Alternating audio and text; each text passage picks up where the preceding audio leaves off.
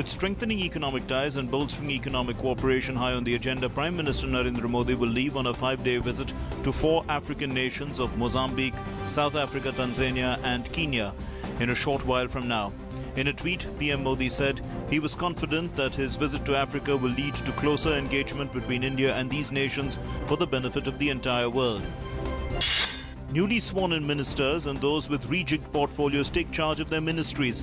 Venkaiah Naidu takes charge of Information and Broadcasting Ministry, Ravi Shankar Prasad of Law Ministry, Anant Kumar of Parliamentary Affairs Ministry, and Smriti Irani of Textiles Ministry. Ministers of State also take charge of their ministries.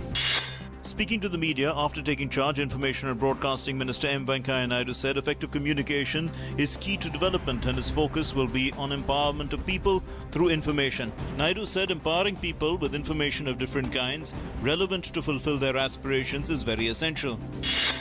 External Affairs Minister Sushma Swaraj has tweeted that the Indian Embassy in Libya has secured the release of Reji Joseph, an Indian national from Kerala. Joseph was abducted in Tripoli in March this year. Swaraj appreciated the efforts made by Azhar A.H. Khan, India's ambassador to Libya. To give a major boost to Namami Gange program, a total of 300 projects will be inaugurated tomorrow at various locations in Uttarakhand, Uttar Pradesh, Bihar, Jharkhand, West Bengal, Haryana, and Delhi. The projects include sewage treatment plants, installations aiming to clean the river and ensuring its unfettered flow. Water Resources Minister Uma Bharati made this announcement in New Delhi. The Delhi government has suspended Chief Minister Arvind Kejriwal's Principal Secretary Rajendra Kumar as the rules state that an official is deemed suspended if he remains in custody for more than 48 hours. Meanwhile, an FIR was lodged against Aam Aadmi Party spokesperson Ashish Khaitan for hurting religious sentiments. Khaitan had reportedly compared the AAP manifesto with religious books while launching it in Amritsar.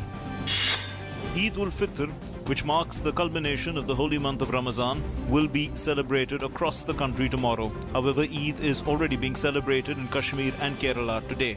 Prime Minister Narendra Modi has greeted the nation as well as leaders of some other countries, including Pakistan's Nawaz Sharif, on the occasion of Eid. In Odisha, about 10 lakh devotees thronged Puri to catch a glimpse of deities on chariots on the occasion of the annual world famous Rath Yatra. This is the only time in the entire year that the devotees see Lord Jagannath leaving the Puri Jagannath temple with his brother Balram and sister Shubhadra. The Director General of the International Labour Organization, Guy Ryder, called on Prime Minister Narendra Modi in New Delhi. The Syrian army has said that it was observing a 72 hour ceasefire across the country in an announcement coinciding with the festival marking the end of the Islamic holy month of Ramadan. A British inquiry into the Iraq war strongly criticized former Prime Minister Tony Blair and his government, saying they had led the country into war based on flawed intelligence that should have been challenged. The long awaited inquiry report also said Britain had joined the US led invasion of Iraq in 2003 without exhausting peaceful options.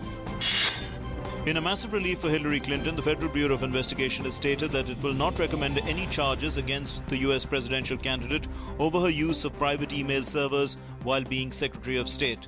FBI Director James Comey administered an extraordinary tongue lashing to Clinton and her aides, rebuking them for being extremely careless in the handling of classified information. Barcelona's Argentinian star, Lionel Messi, has been sentenced to 21 months in prison and fined 2 million euros for being found guilty of three counts of tax fraud.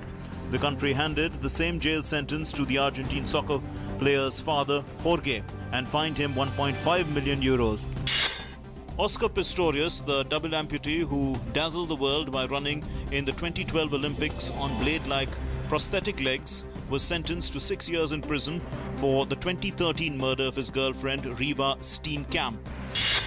The first semi final of the Eurocup Football Championship will be played between Portugal and Wales at Lyon in France tonight.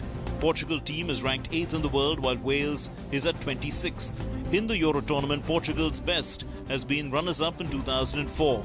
Wales are the first debutants to reach the semi-finals since Sweden did so in 1992.